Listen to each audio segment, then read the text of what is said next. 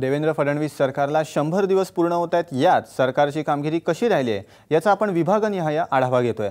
नव्यानं अस्तित्वात आलेल्या पालघर जिल्ह्यातल्या विक्रमगड मतदारसंघातील जनतेची सरकारच्या कामगिरीबद्दल काय मतं आहेत ते आपण पाहूयात.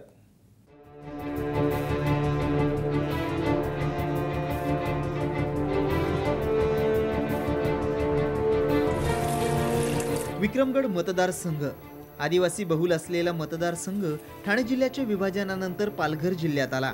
या मतदारसंघात वाड्यातील काही भाग विक्रमगड तालुका आणि जव्हारचा काही भाग येतो. या मतदारसंघाला आदिवासी समाजाचे आमदार लाभले. गेले पंचवीस वर्षांपासून हा मतदारसंघ भाजपचा बालेकिल्ला म्हणून ओळखला जातोय. वीस वर्ष भाजपचे सध्याचे खासदार चिंतामण वनगा हे आमदार होते. तर आता फडणवीस सरकारमधील आदिवासी विकास मंत्री विष्णू सावरा हे या मतदारसंघाचं आमदार म्हणून प्रतिनिधित्व करतात. मात्र आजही विक्रमगडमधील जनता मूलभूत सुविधांपासून वंचित आहे. अनेक गावांना जाण्यासाठी अजूनही पक्का रस्ता नाही. विजेची सोय नाही. पिण्याच्या पाण्याच्या मूलभूत सुविधाही नाहीत. पिण्याच्या पाण्यासाठी गुरांना आणि जनतेला एकाच तलावातील पाणी प्यावं लागतंय. नव्या सरकारनं किंवा आदिवासी विकास मंत्र्यांनी या समस्या सोडवण्यासाठी आवश्यक ते पाऊल उचललेलं नाही. त्यामुळे इथल्या जनतेतून नाराजीचा सूर उमटतोय. पाणी इकडे बंधारच आहे. पाणी भरपूर आहे. पण त्या पाण्याचा काय उपयोग नाही. उपयोग नाही याचा अर्थ असा नाही की पाण्याचा उपयोग नाही.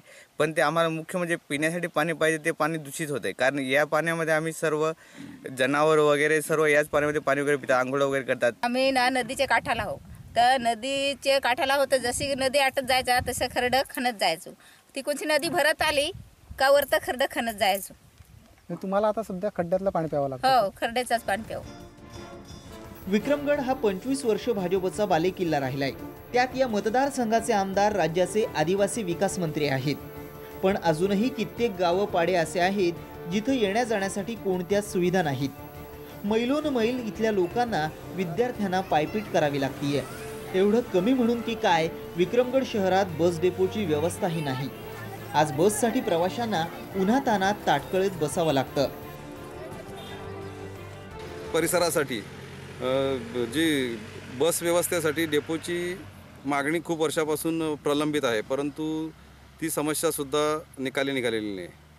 तसंच ह्या ग्रामीण भागातील तंटे निवारणासाठी वगैरे कोर्टाची एक मागणी आहे विक्रमगड परिसरामध्ये. तर तो प्रश्न पण जर समजा सौरासाहेबांनी जर लक्ष घातलं तर निकाली निघू शकेल. आम्ही सकाळी सहा वाजता उठून आम्हाला शाळेत जायला लागतं.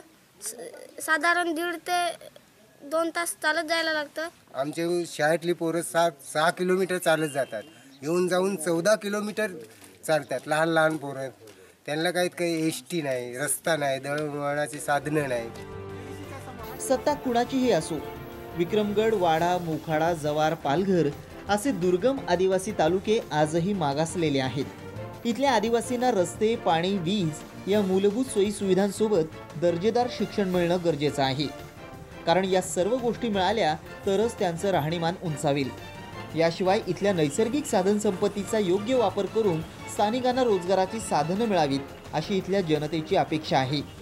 सरकारनं येत्या काळात याकडे गांभीर्यानं लक्ष दिलं तर कुपोषणासाठी प्रसिद्ध असलेला हा भाग नक्कीच सुजलाम सुफलाम होईल. रुपेश पाटील साम टीव्ही विक्रमगड पालघर.